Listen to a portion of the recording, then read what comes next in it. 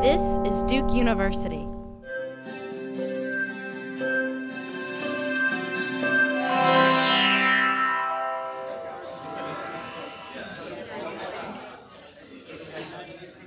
I want to, if performance is our is our theme for today, ritual and sport are two ways into performance and the politics of performance. And ritual, which Ronald Grimes is talking about, kind of a time-honored way of thinking about um, performance, and it's very classic terrain for my home discipline of anthropology as well as for religious studies um, and others. And so here we have these foundational Durkheim and Mary Douglas and Victor Turner, um, really useful ways of thinking about ritual. Um, ways which, as many, many people have said for many decades now, have tended not to have a lot of history and politics and movement and contestation in them. Um, one of the things that Ronald is trying to do is to invite us to think both with but also beyond some of the classic texts and ways of thinking about ritual. And so in his paper, I can't remember if he mentioned this here, he has the idea of ritual creativity, namely the idea that rituals are always changing and getting invented and being forgotten, um, something that there's really not a place for ritual creativity in, in Turner or Douglas for all of their um, usefulness. And, um, and the film that he showed us, which is, which is very beautiful, uh, you know, gives us is, is an example it's, or is a document of, uh, of ritual creativity in the sense that you have this ritual that's bringing together these uh, Moroccan immigrants uh, with these First Nations people around and this kind of beautiful made up hybrid um, ceremony. So this is sort of ritual creativity in action. Um, I think it's interesting that the First Nations people are called upon or volunteer to do the part of the the, the ritualizing. And you know for all the way there's ways that things change there's still kind of the noble savage slot and you know a, a kind of wounded west that always needs to look to the other and to the native to find the marks that will the, the way that to, to, to, save itself from itself, to heal those injuries. And it's a slot that Native peoples have sometimes, you know, like they make money and are into shamanism and stuff, but the whole kind of like new age tourism and, you know, weekend medicine man thing and stuff where, you know, often white people, but also African Americans kind of go to the slot of the native to heal themselves and to, to do repair is enacted all over again here. You know, why not the, it's interesting, we know why not the, you know, the Jews having the Mohawk over to do the Jewish ritual. Why, why this combination? Um, I, I, don't mean that in a bad way. I just mean that it's it's interesting to think of the kind of cultural politics um, involved there.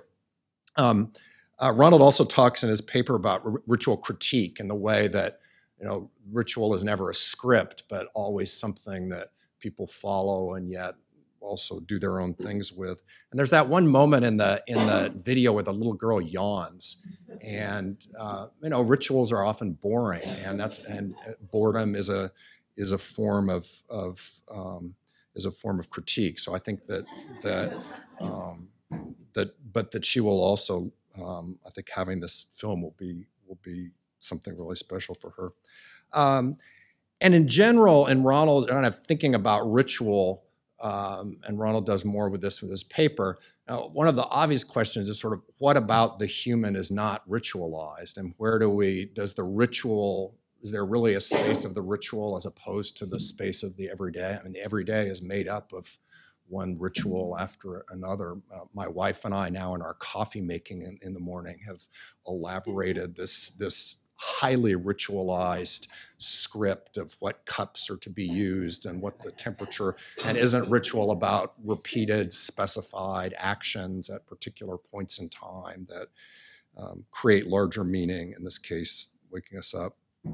Uh, so and certainly academic conference and, and we and we we we think of ritual as the space of the religious and the the and the um, and not the space of the secular and yet what's more ritualized than all this. So, um, so I think there's this invitation that, that Ronald makes in his paper to let ritual off the leash and to see the ritual everywhere. And then, but does that end up evacuating the concept itself or not? Um, I'm not sure. Uh, Stephen's paper was much more, is really, if you read it, and it's a wonderful paper, is about sports in particular. So I want to talk a little bit about sport. Um, and so if ritual is a, is a, is a classic academic way of getting into thinking about performance, sport is something that's had, sports studies is a, is a, is, a, is an outlier endeavor in the academy. And you know, for, for all kinds of reasons. I think it has to do a lot with there's very in every department there's one you know person who like me uh, I wrote a book about Tiger Woods and you know and then it's it's not and it's really this way in almost all of the disciplines sociology and history maybe a little bit less so. And that I think obviously has to do with kind of cultural and disciplinary imagination mind and body jock and nerd were in the academy about mind about about the mind and about nerdness and we were the kids who were picked last in the playground dodgeball game and we'll be damned if we're going to spend our academic careers studying sports. That's what we you know, we're trying to get away from. So i you know sports in general are i think this just a gigantic part of our world and yet don't get uh, corresponding kind of attention in the academy. And i think maybe that's a good thing. We have enough um, sports already all around us. And and in fact, this gets me to what what the the argument that Stephen makes in his uh, in his in his paper, and uh, what he he uses the word mundophagic. Uh, world consuming to talk about sports. He talks about the inner imperialism of sport.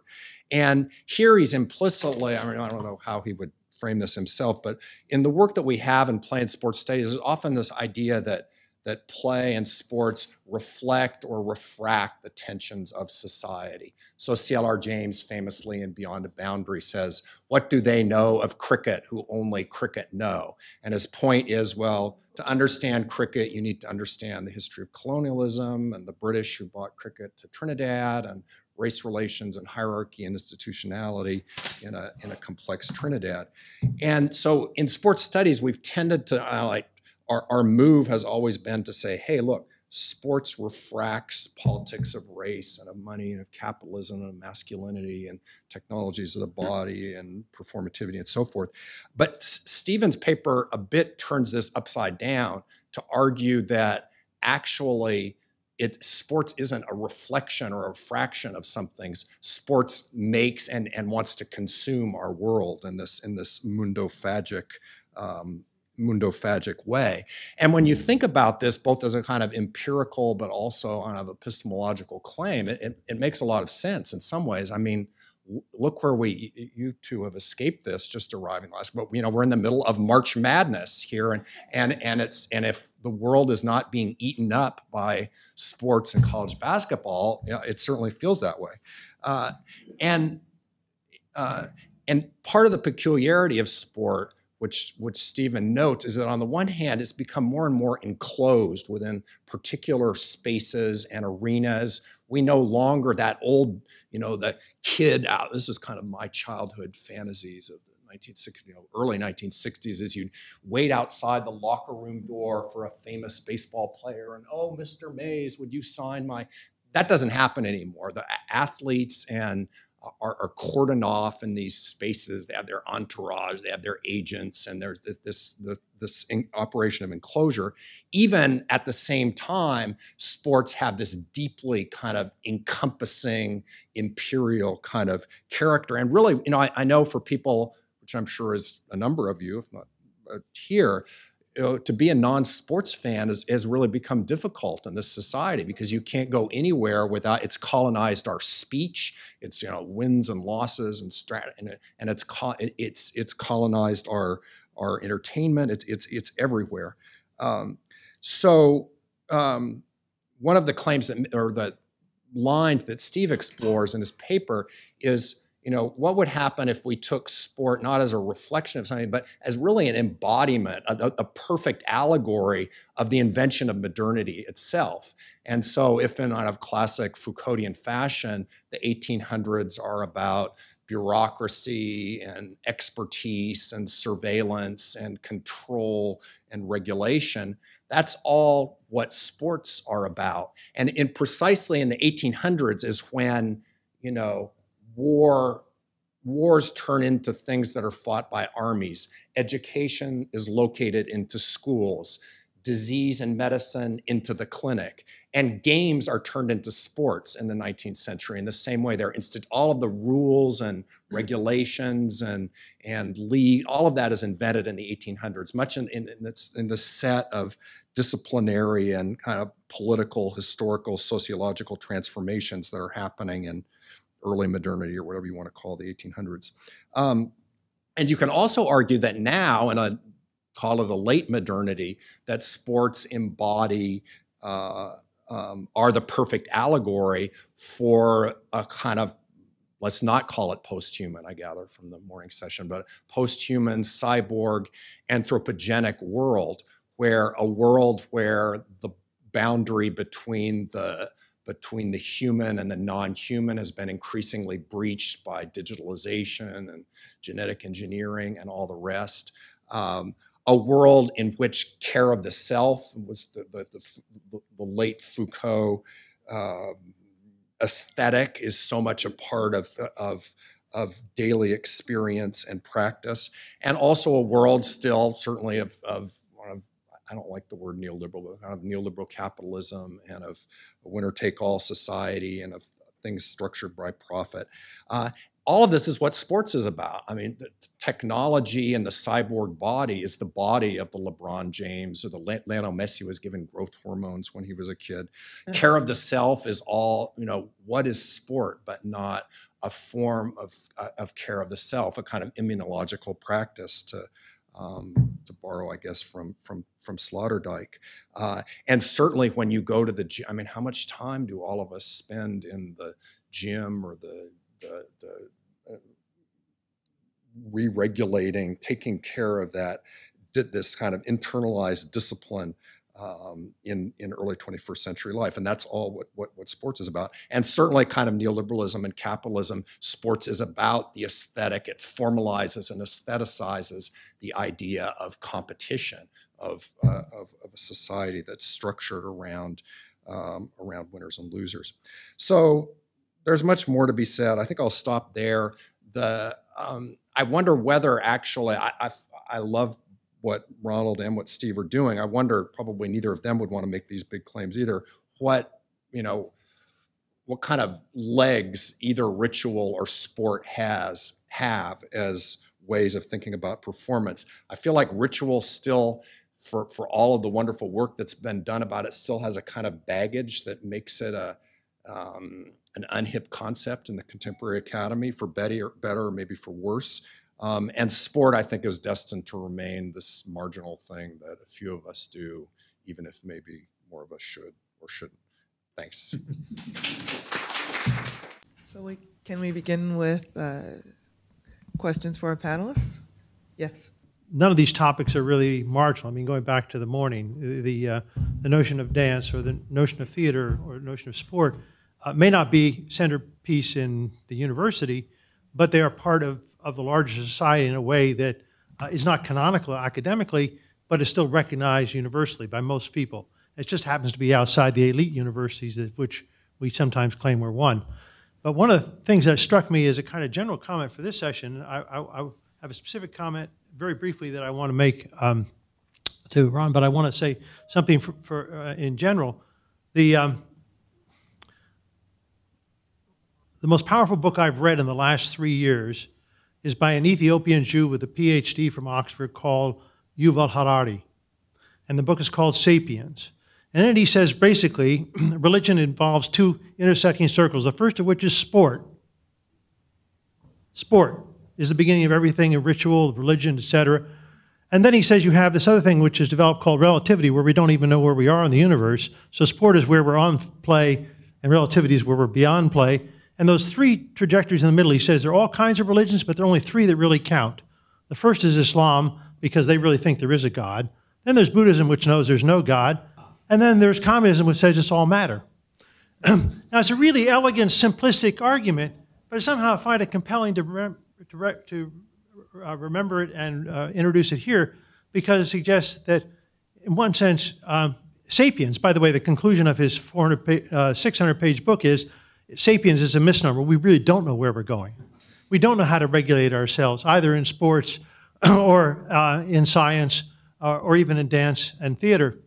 But it's a, but the, the curious argument is that we're always testing borders, and we sometimes don't recognize how and when and why we cross them. So I just wondered if, you know, it- it's the wrong university, it's Oxford, not Cambridge, but it's still a good degree and an interesting book. Uh, and I wonder how both, you know, both Orin and Stephen respond to it. And the other question I had that was really directly about um, this fantastic uh, film, which I, um, you know, still can't quite believe all the images there. The image for me was not only the kid yawning, the girl yawning, uh, Alia yawning, but um, the scene of the pagoda with the leaves with holes in them. So it was like this perfect nature, and this is the window showing how imperfect it was. So I, I don't know if that was intended, but that's what I saw.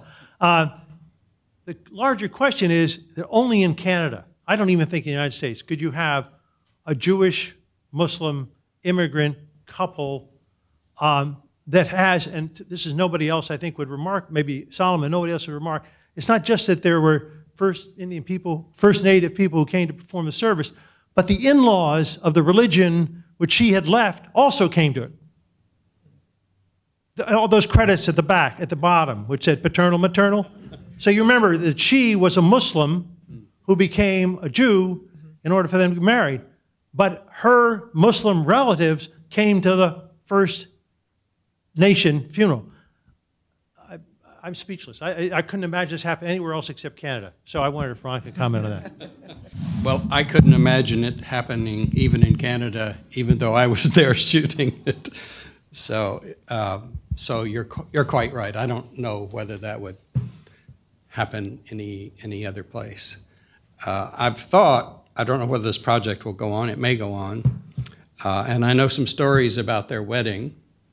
So there's lots of trouble behind the scenes you see here. There, there, there was trouble about the uh, the wedding. There was trouble about the funeral. This is not the funeral. This is three months afterwards. Uh, there was trouble about this event. So there's lots of there's lots of trouble. Uh, but you're right. I mean, it's a it's a kind of remarkable scene. And I but I keep doing the same thing that you're doing, going, wow, this really happened, and how how did this happen? So so. Uh, and I only know part of the story. I don't. Uh, I don't actually know this family. I, I know them through an intermediary. So, but I may, in fact, go back and pursue it. Um, this is a question um, to Stephen. Um, I was surprised by where you landed the end, and I wonder if you could just expand and revisit it. Where you landed saying that um, sports as play was uh, um, um, holds violence at bay, and I can think of uh, numerous examples where, in fact, uh, sports as play um, produces violence.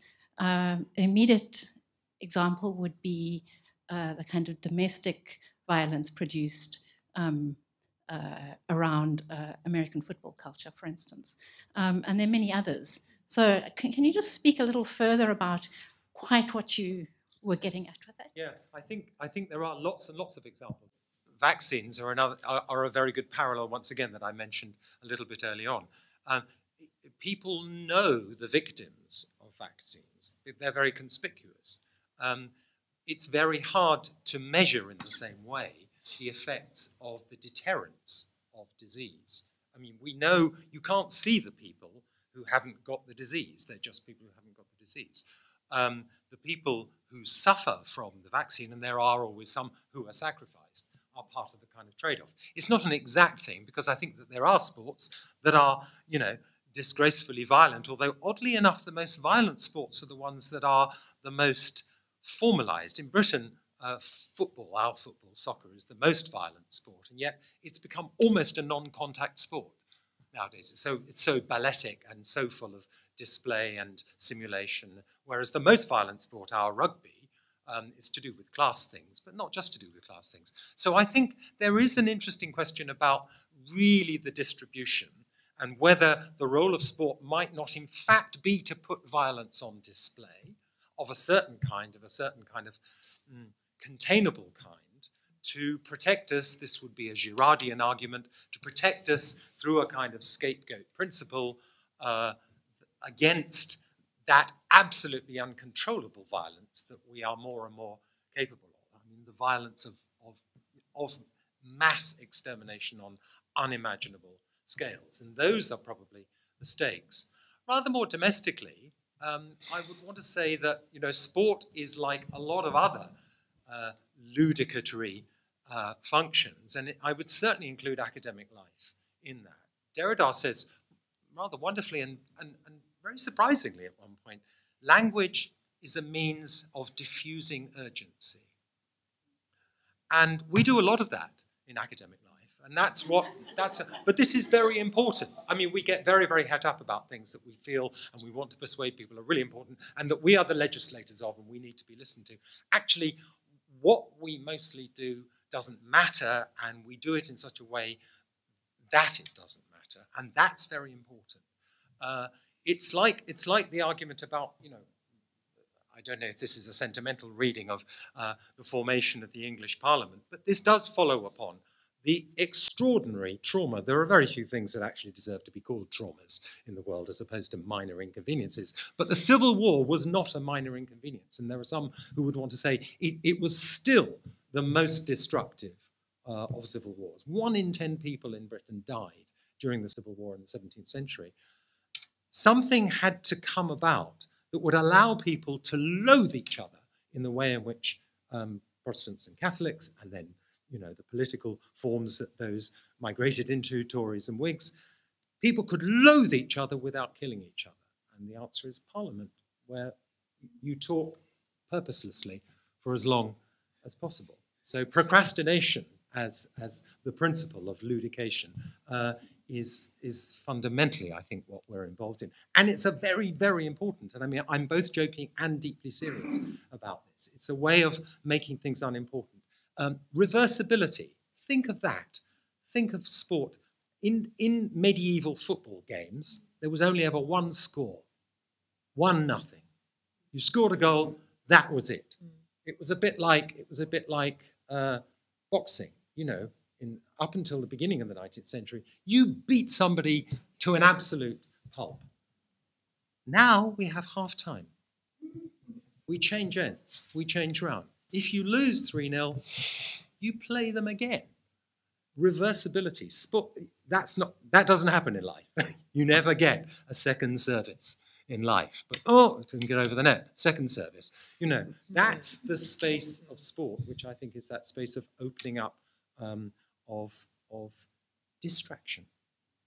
It doesn't, I wonder just to, to, I mean, vaccines, most of us believe work. And for, you know, we have our kids do Mm-hmm. polio. the Whereas with, I mean, just if you look at it empirically, the rise of sport in the 19th century doesn't go along with any lessening of the harm inflicted by human beings on other human beings. I mean, our the United States right now is probably the most sports crazed society in the history of the world, and yet we're we've been waging wars and busy killing each other. And so I, I don't. Not the wars we could have been waging. Yeah. Not the wars that it was assumed. I mean, it's appalling, and we're quite right to get het up about it. But, you know, we're really het up about terrorism. Statistically, terrorism scarcely even exists. I mean, the numbers of people, even if you count the numbers of people being slaughtered by the particular groups we're really worried about, these are so tiny. We don't care about deaths on the road. 18,000 a year in the US, I believe six World Trade Centers every year. It's fine, you know, it's the, that's the price we pay. Um, so statistically, the things that worry us, the things that there's a lot of slaughter around because there's a lot of media around. We see it all. A lot of it is produced for media. IS- ISIS understand that perfectly well. The link between between terror and media and, and violence.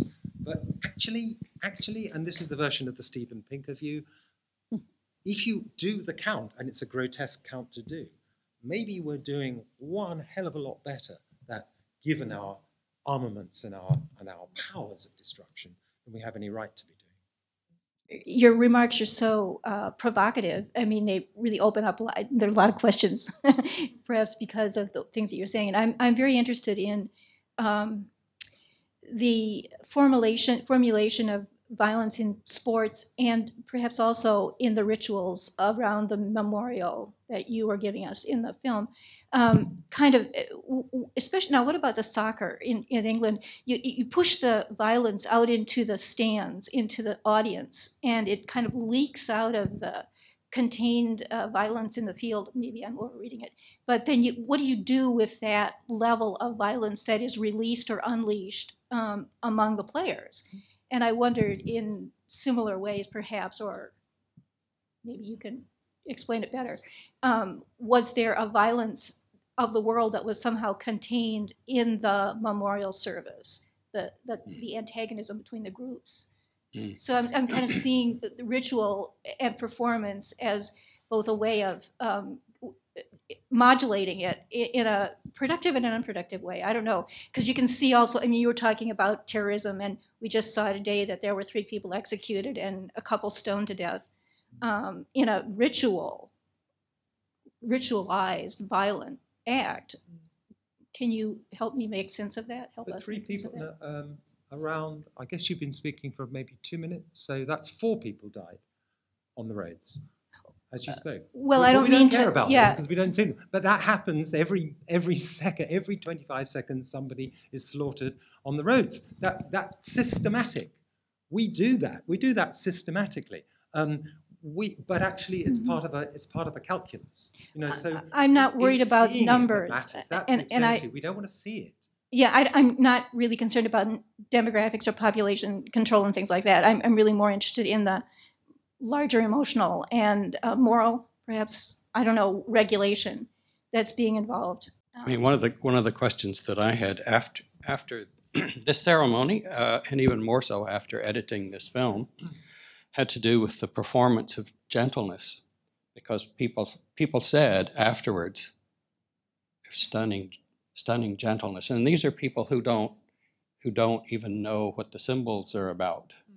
They don't know about the combing with a, a bone comb. They don't know about pure water. They don't know about the feather. They don't know the stories of these. Although Francis tells, if you look at the other versions, you'll hear Francis giving little ex- explanations. But the thing that was remarkable afterwards uh, was the sense of carried away gentleness. Now, the question, if you're if you're serious about ethnography, is well, how far does that reach? Does that just reach to the parking lot, or does that reach to how how how how long do those images of the of the comb going through the hair how how how how far down do those those images seep. So I think it's interesting if you say the performance of violence inoculates us to say, well, what does the performance of gentleness do then? Does it also inoculate us or does it evoke its opposite? Or I mean, I don't know the answer, but I think it's an interesting question. My daughter is is just about to finish a, a documentary film on women and gaming.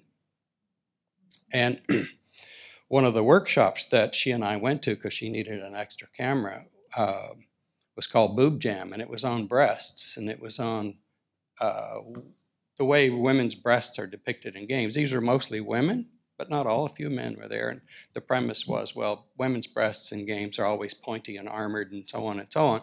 Surely we can do something better. We can do something different. So they were they were designing. These were young women learning to design games. Uh, so it was all about designing the nonviolent breasts. It's like, well, how do you do that? What are the images of that? And the first images that Kylie and I saw on the screen when we walked in shocked us both. They were of breastless women who had had double mastectomies and they were being tattooed. And, and I didn't know that this was going on, just shows my ignorance. And I said, Are you all making this up? And they said, No, this is a, this is a practice this is a practice. And I said, So what are you doing? And they said, Well, we're trying to figure out how to turn this into a game. And they said, One of the women turned, she said, beats hell, beats hell out of blowing everybody away. And so they were trying, they were, they were trying to create other images, and many of these images you can bet will show up in these violent in these violent games, but they are attempting to turn the tide, mm. you know, sort of one body part at a time.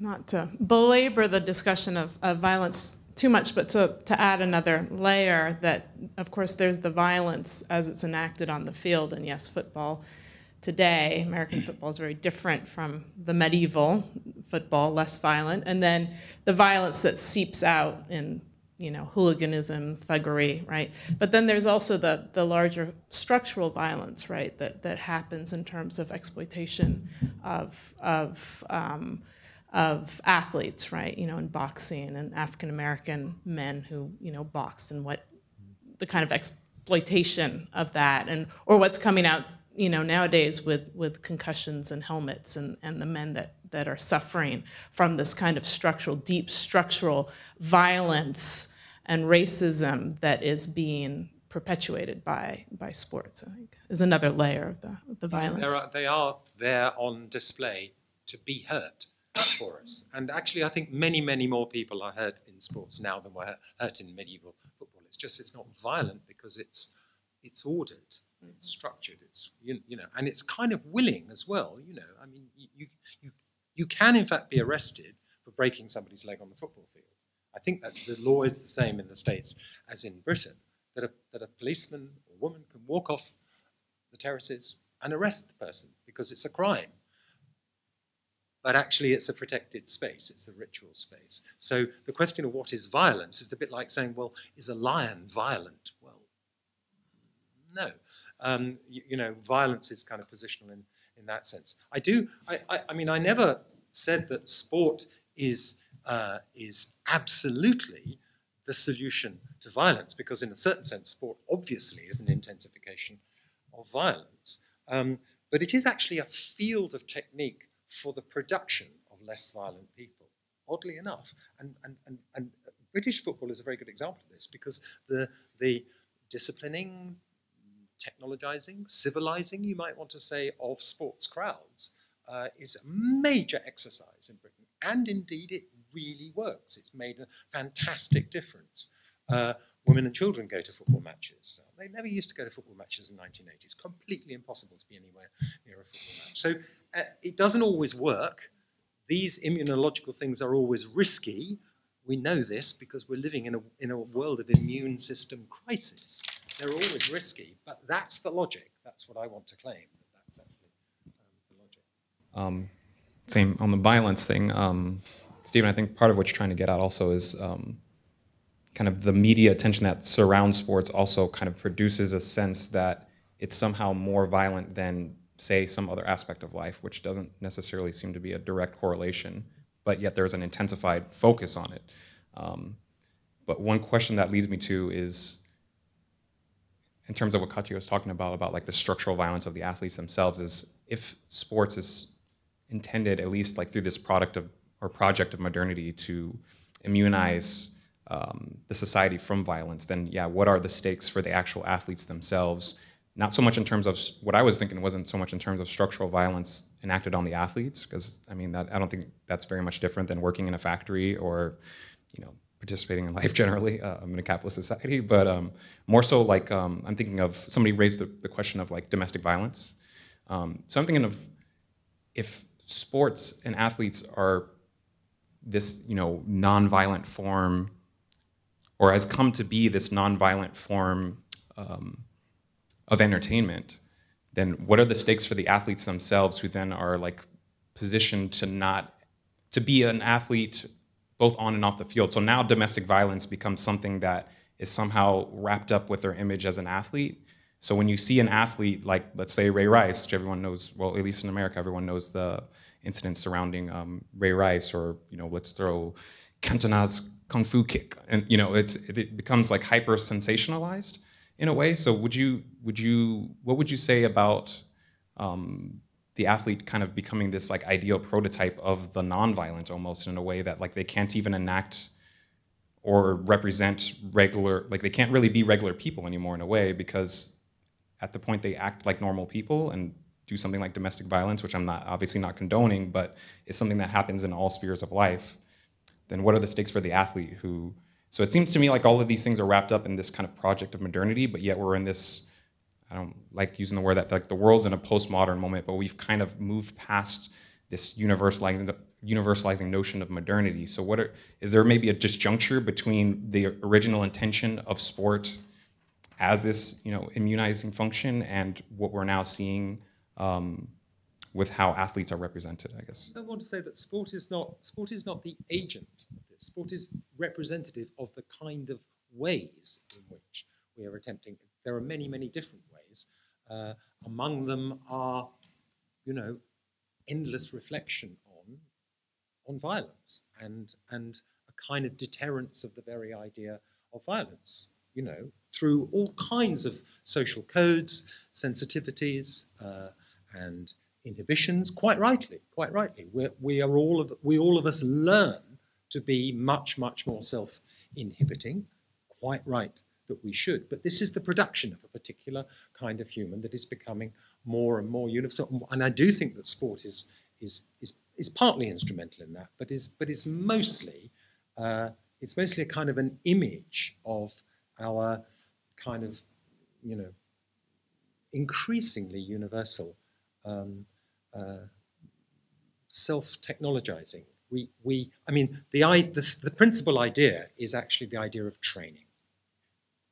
We are all of us in moral training just as we're in medical training, just as we're in athletic training, you know, and nowhere more so. I mean, we're, we're it's the most moralistic time that I can think of. We're more moralistic now than we've we've ever been, and especially in the academic world. Um, I'm not saying it's necessarily a bad thing, but it is what we do. Thank you much. Uh, um, just quickly the idea of um, ritual and rainmaking it reminds me of ceremony by Leslie Marmon Silko. Um, the need to create new rituals to be adapted to new times across time and space um, for particular reasons in society. I was reading a um, history of greek art and a piece from an amphora stuck with me. It was an ethiopian who was doing a handstand on a bull and the greeks were prostrated before him and I was like, wow, you know, and it um I thought about it across time and space and I was like, wow, if a guy, you know I mean, gets a touchdown, you know, everybody gets up and does the wave and they bow before him. And I was thinking about how, you know, we still go to sports in amphitheaters and coliseums and all this and the racial dynamics of it and whatnot. And I was wondering if um you could like fuse the talks in such a way as to talk about the crypto ritualist, adorationist, spiritualist faculties of sports that may be going, you know, unrealized in post-modernity, but are actually ever present. I'm thinking about guys prostrating in the end zone, doing their special dances when they um, make touchdowns and stuff. Yeah, thanks. It's compelling, and I think the idea of the uh, the specially accredited person or the specially gifted person uh, is something that rituals and sports and, and many professions also have. I was very interested by, I mean, the guy was just like kind of doing stuff that any of us could do, but there's a special sense in all rituals that you would need to be able to do the feather, you know, kind of just right. And actually, you do have to do it just right because let's face it, a feather down your face is going to tickle, right? There's always got to be there's always got to be something that can go a bit wrong in a ritual, a bit of high wire stuff, um, in order that there can that the containing framework the ritual and part of that containing framework is the person who is accredited with the power, whether it's the sportsman or the. I mean, uh, I, I, had a I had a Japanese student who studied with me in London for three years, and he got his PhD, and he was. Um, we were just saying goodbye. He's going back to Tokyo. I was saying keep in touch and well done, fantastic. He said, "There's something. Can, can I ask you something?" before I go and said, Yeah, do you think I could call you Professor Connor?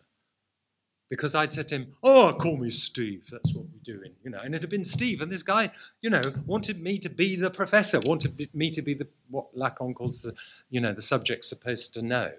Uh, we all of us play that part and have to be willing to play that part. Um, it's very uncomfortable, I think, for sportsmen sometimes to be and women to be regarded as as deified, but they're they're kind of doing work for us. And I, and I think that also gets over some of that sense of implied insult by, you know, okay, it's got to be a Mohawk somebody, you know, uh, uh, or there's got to be, you know, and, and in Australia it's always Indigenous people who have this special kind of wisdom, uh, you know. But we do this to each other a lot. That's part of what ritual involves. We have to agree to play the part that other people want us to play, otherwise the thing isn't going to work. Yeah, I think if we, I don't think you need the crypto. So uh, sport is ritualized. Some sports are more ritualized than other sports. Everyday life is ritualized. This kind of makes Orin nervous, but if I said everyday life is dramatized, it wouldn't make anybody nervous. So I don't know why that would make us nervous to say. So it seems to me sport is ritualized. Sometimes it's more ritualized than at other times. At Olympics, it gets very high churchy. Uh, so I don't see I don't see any problem. So John MacAloon, I think, who's thought a lot about this, doesn't doesn't set ritual and sport up as opposites. He talks about nest and nest the nesting of one genre and another. So that it seems to me that you can do that with sports. You could flip it the other way and say, okay, where in ritual do we find sports and sporting events, and where do we find performance? And it's not very hard to start coming up with lots of examples where you get the one embedded in the other. So this this nesting or this embedding seems to me absolutely persistent. It shows up everywhere. That's what started me on the track was I couldn't say this was ritual and that was not. I had to keep saying, well, look, you know, this looks like street theater, this looks like opera, this looks like civic pronouncement. It was all part of one event. Now, in Santa Fe, they didn't call it ritual, they called it fiesta. But all these were all little baskets inside the big basket. Uh, so I, I gave up a long time ago fretting too much about all the definitional problems, and I learned to speak indigenous. They said fiesta, I said fiesta. I, if I said ritual, well, they go, oh, that yeah, I think there's some of that. They do that in the cathedral, but I go to the cathedral and they go, no, we don't do that. We do the liturgy. Right.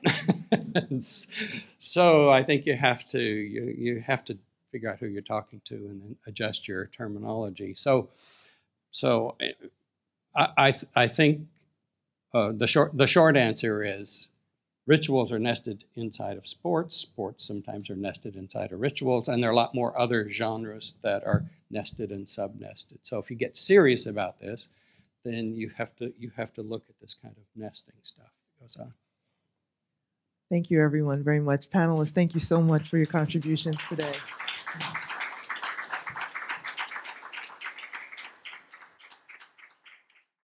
Produced by Duke University. Online at duke.edu.